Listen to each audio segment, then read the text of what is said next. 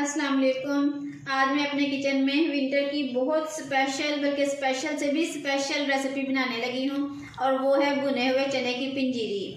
बहुत ही मज़े की भुने हुए चने की पंजीरी बनेगी।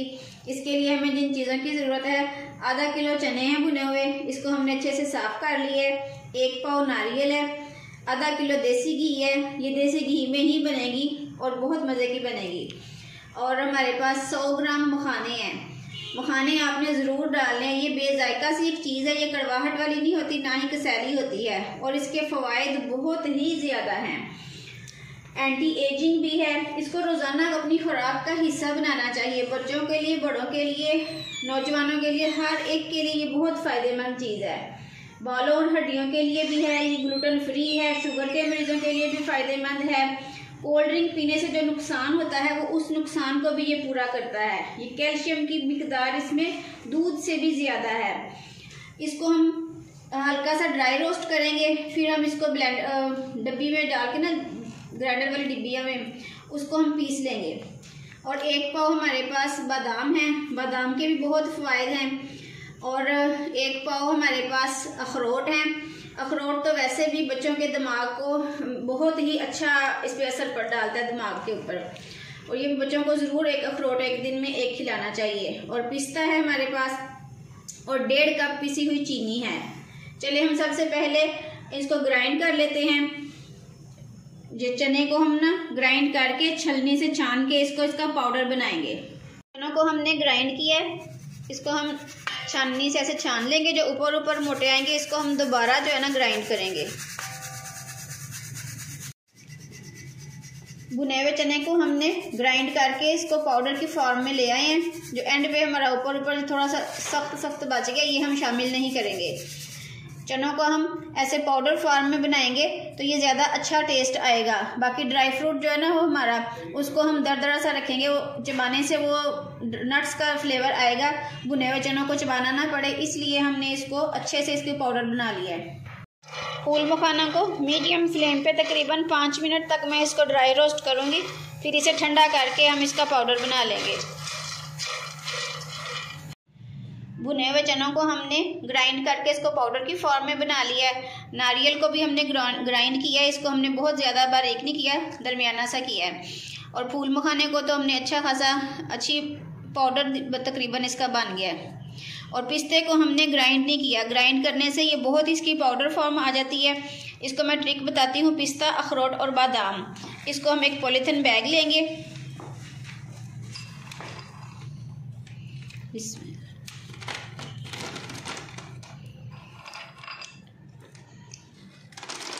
ऐसे इसमें हमने बादाम डाले और ये जो चटूवटा होता है, लहसुन, अदरक पीसने वाला, उसकी स्टिक के साथ ऐसे इसके ऊपर लगाएँगे।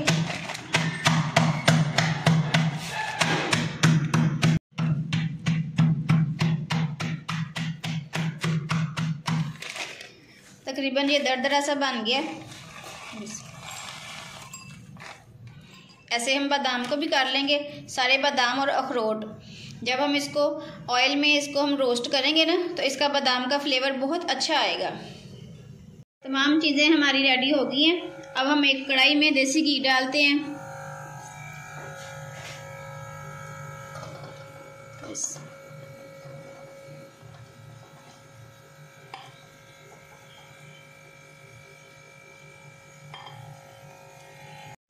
घी थोड़ा हमारा गर्म होगा। सबसे पहले हम इसमें कुटे हुए बादाम डालेंगे।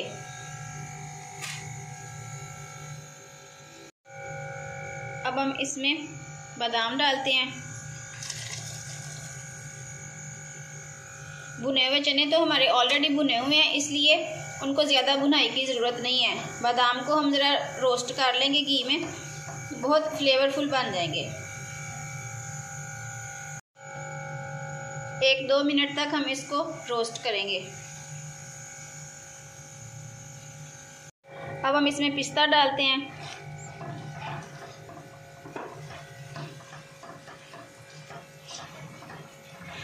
अब अखरोट डालते हैं।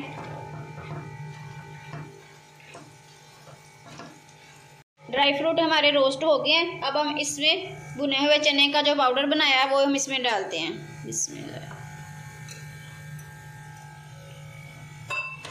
अब हम इसको लो फ्लेम पे आहिस्ता आहिस्ता इसको भी भूनेंगे।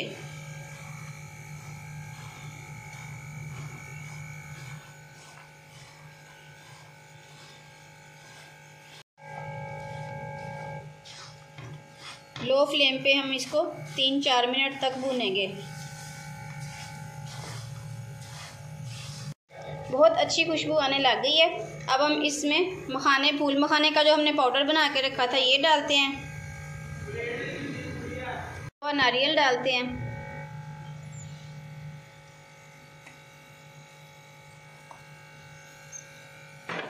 और अच्छे से मिक्स करते हैं इसे।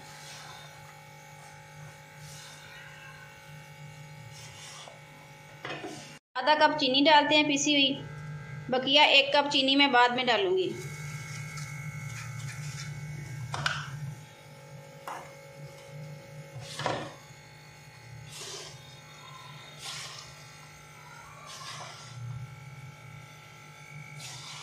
देसी घी मुझे थोड़ा सा कम लग रहा था। तीन चार टेबल स्पून मैंने देसी घी और डाला है। आधा कप मैंने चीनी डाली है, पीसी हुई। थोड़ी सी अभी और डालूँगी।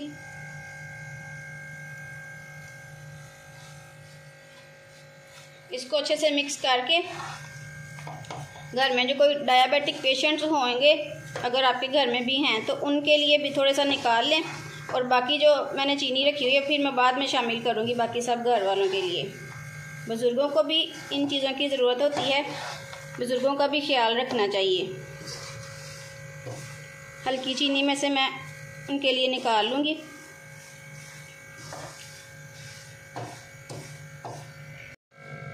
हल्की चीनी को मैंने अच्छे से मिक्स कर लिया है।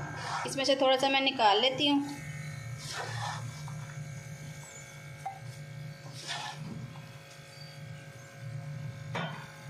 ये बकिया पीसी हुई चीनी इसमें और डाल लेते हैं।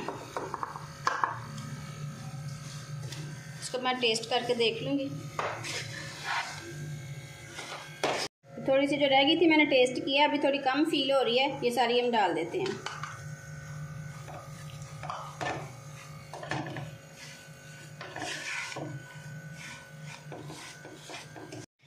फ्लेम बंद कर दिया मैंने। हमारी बहुत मज़ेदार भुने चने की पंजीरी तैयार हो गई है। अब हम इसको डिश आउट करते हैं।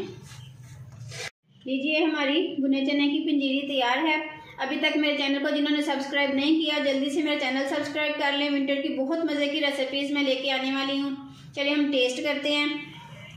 लीजिए, हम टेस्ट करके देखते हैं। ये देखें बहुत ही मज़े के बीच में ड्राई फ्रूट्स भी हैं और टेस्ट तो अभी मैंने चखा नहीं, खुशबू के साथ ही पता चल गया कैसा टेस्ट है।